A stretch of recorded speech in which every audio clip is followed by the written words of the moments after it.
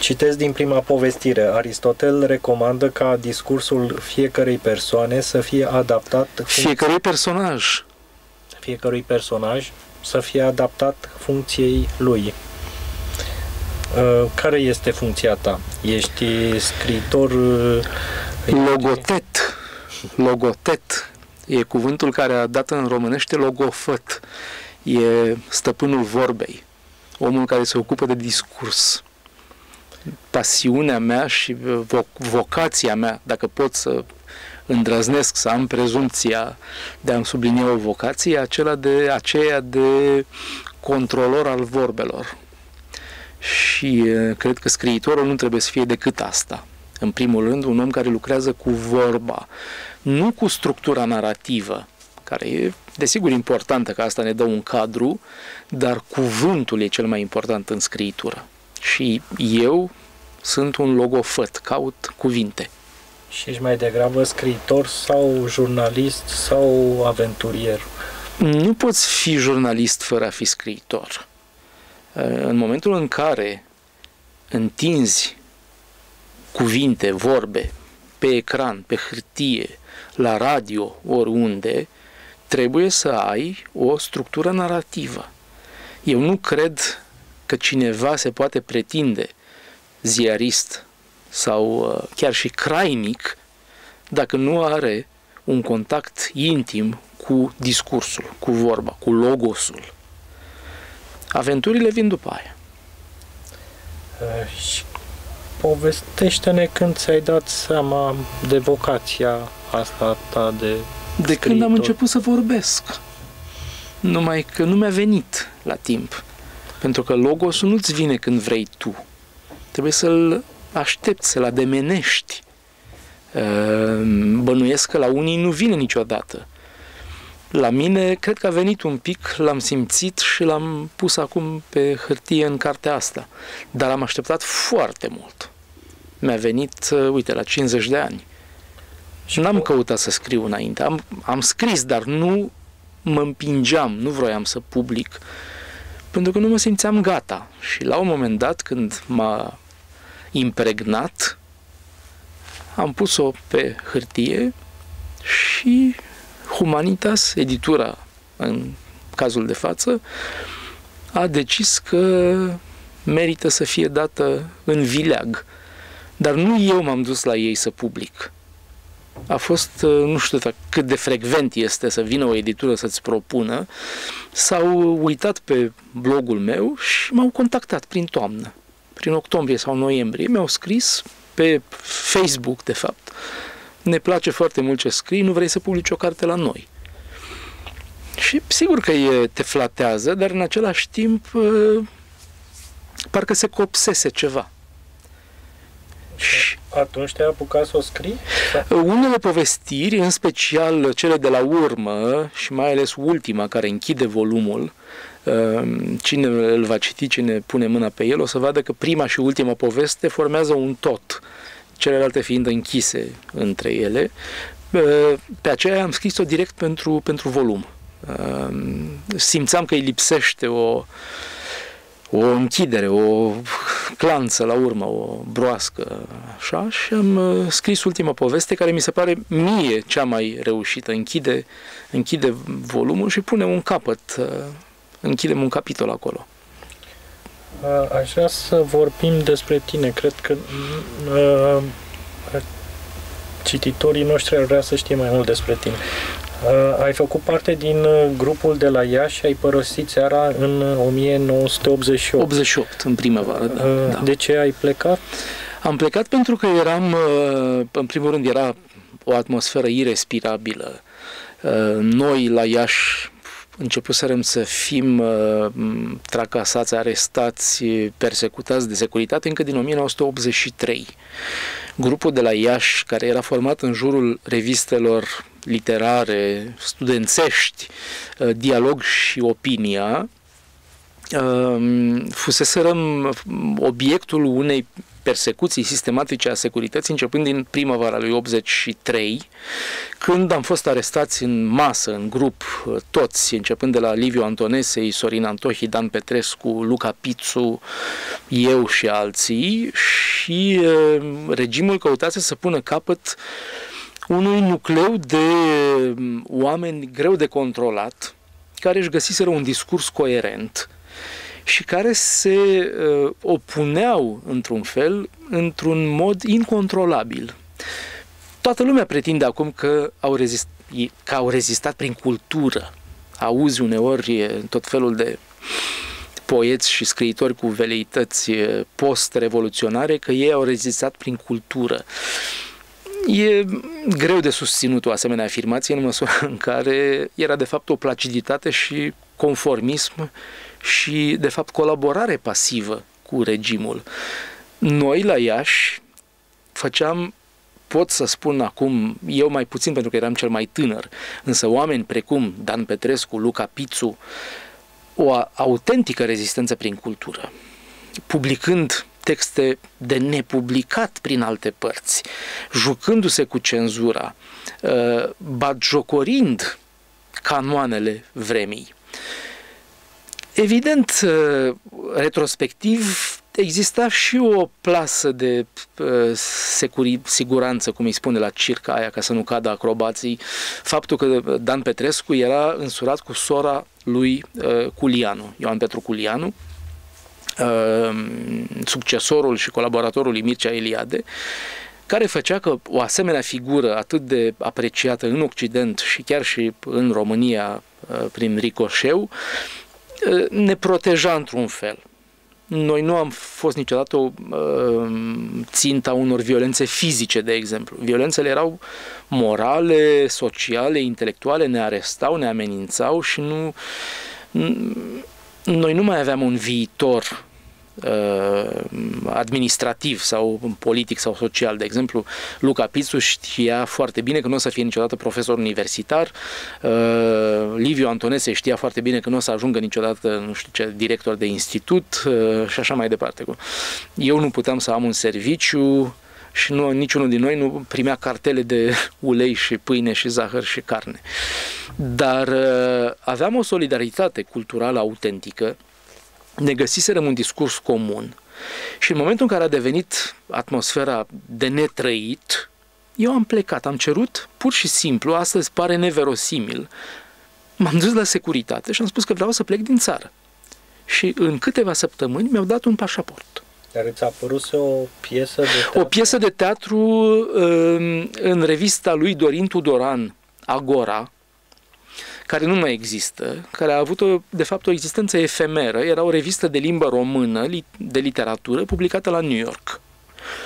Cu ce fonduri nu mă întrebați, nu știu. Dorin Tudoran lansa apeluri în România cerând texte prin Europa Liberă, uh, spunând trimiteți-ne texte. Și chiar țin minte uh, cum uh, ne miram și într-un fel râdeam și ricanam la Iași, pentru că la un moment dat Emil Hurezeanu, care era atunci redactor la Europa Liberă, spusese la un moment dat, uite, am cerut atâtea texte din țară să ni se trimită și când ne vin, sunt de nepublicat. Deci una, o, o constatare la Europa Liberă că, de fapt, în România nu exista literatură de sertar.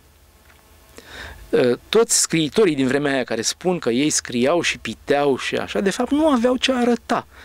Mi-amintesc și acum cu tristețe și un pic de oroare retrospectivă cum Marin Sorescu, filmat ă, într-un interviu de televiziunea olandeză imediat după Revoluție, când l-au întrebat dumneavoastră Știți, comparația cu ă, literatura cehă, poloneză, cu toate grupurile de intelectuali, cu samizdaturi care publicau tot felul de texte care se citeau în ascuns, la noi nu au existat. Marin Sorescu arătase uh, acelor reporteri olandezi o poezie, una mică, trei strofe, pe care o pitise în coperta unei cărți. Și l-au întrebat uh, cum e cu samizdatul românesc, care a fost literatura opoziției.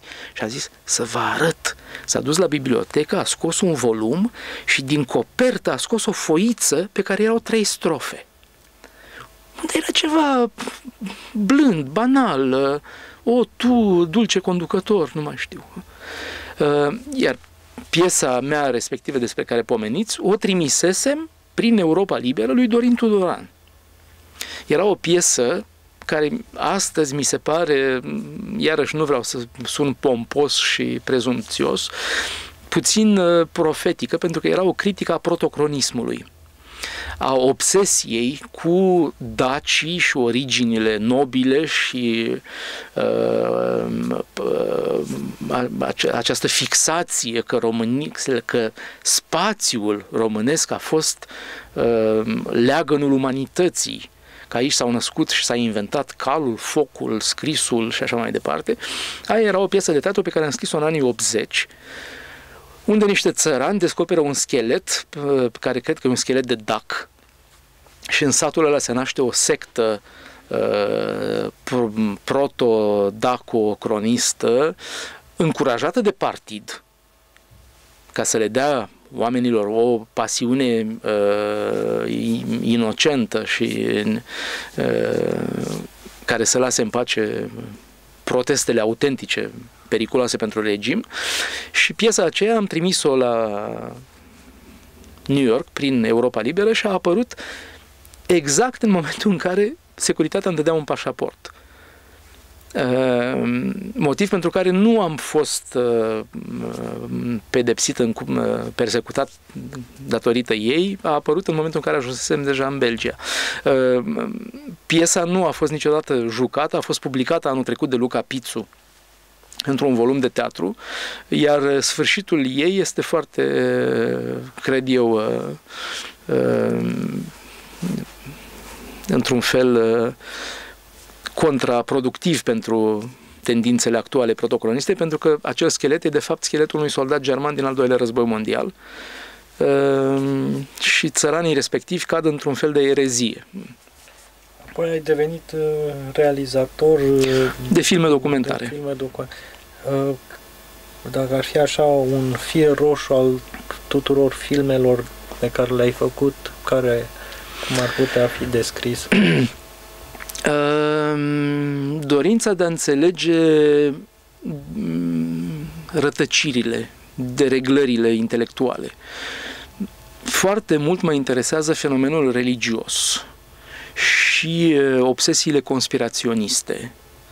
Motiv pentru care, în toate filmele documentare pe care le-am făcut, mă ocup de uh, derive intelectuale și um, colective și sociale, și anume sectele, uh, obsesiile religioase. Filmele mele sunt în general despre. Uh, am făcut filme despre islam, despre um, iudaism în Uh, țări islamice, în, uh, în primul rând în Afganistan, mă interesează foarte mult și caut să decriptez și să redau, nu știu dacă reușesc, felul în care algoritmul minții umane poate fi preluat și controlat de o, de o doctrină nefastă și nocivă prin definiție, cum e orice fenomen religios pentru mine. Eu nu încetez să afirm și să subliniez în România că eu sunt ateu, deci nu agnostic, nu am niciun dubiu, nu mă prefac și mă păzesc spunând că de fapt nu știu și am niște convingeri care sunt acelea că spiritul uman e liber și că nu trebuie să fim orbiți de nicio doctrină. Însă mă pasionează, cum ar trebui să ne pasioneze pe toți, orbirea. Și atunci caut să decriptez fenomenul religios, sectele, obsesiile conspiraționiste și orice ideologie în general. Uh, tu ai făcut o facultate de limbi clasice? Nu, de limbi străine, limbi slave și... Dar știi foarte bine latina, ai făcut da, traduceri da. din latină da, și da. mai știi încă o mulțime de da. 15 limbi, ai spus, uh, vorbite și 20 citite. Da, da. Uh, de unde e un talent și o pasiune? Nu, e o muncă. E o muncă. Eu nu cred în talent. Talentul e doar muncă bine organizată. Și uh, pasiunea pentru limbi vine în continuare pasiunii pentru ideologii și orbiri. Pentru că orice ideologie nu e altceva decât un limbaj criptat.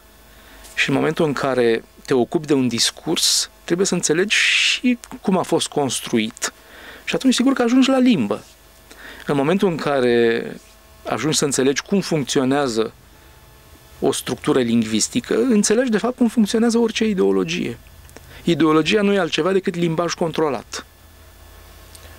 Uh, am înțeles că acum te preocupă limba etruscă? Foarte mult, foarte mult. E o mare cheie a civilizației noastre, occidentale, europene. Etruscii erau acel popor care a trăit în uh, ceea ce este astăzi Italia și care au fondat Roma și care au uh, transmis romanilor tot ce avem noi astăzi, toate cunoștințele, arhitectura, civilizația, scrisul, scrierea noastră de astăzi pe care o numim scriere latină, nu e altceva decât scrierea etruscă. Literele respective, împrumutate de etrusci la rândul lor de la fenicieni, nu au fost uh, împrumutate direct de romani. Romanii le-au preluat de la etrusci. Însă limba etruscă ne este total necunoscută. Avem mii de inscripții pe piatră, pe fier, uh, chiar și pe pânză, într-un caz uh, special cu o, un volum, o carte latină, o carte antică salvată uh, prin întâmplare, pentru că a fost păstrată într-o piramidă în Egipt, dar limba ne este total necunoscută. La fel cum ne-ar fi, de exemplu, noi fiind vorbitori de română, când deschidem o carte în maghiară sau în indoneziană sau în turcă, înțelegem literele, pentru că sunt literele noastre, dar limba ne este tot, total im, impenetrabilă. Și la fel este limba etruscă a acestor creatori ai civilizației occidentale. Avem mii de texte, dar nimeni nu înțelege limba lor. De secole, de când uh, am descoperit și s-a luat uh, cunoștință de existența. Și uh, mă pasionează foarte mult și cred că sunt aproape de a găsi algoritmul acestei limbi, care uh, vreau să precizez că nu vom ajunge probabil niciodată să citim acele texte, dar putem măcar să înțelegem cum funcționa limba. Pentru că asta e lingvistica. Poți găsi algoritmul unei limbi, poți înțelege Uh, aproximativ care erau cazurile gramaticale, care erau terminațiile, care sunt verbe, care sunt substantive și poți vedea că într-o oarecare frază cineva face o acțiune pe ceva sau că un obiect aparține altcuiva sau altui obiect. În momentul în care ai înțeles acel algoritm, poți reconstitui cam în ce familie de limbi s-ar plasa aceea etrusca, ceea ce e deja un progres uriaș, pentru că actualmente nu știm nici măcar ce fel de limbă era. Sunt doar succesiuni de litere.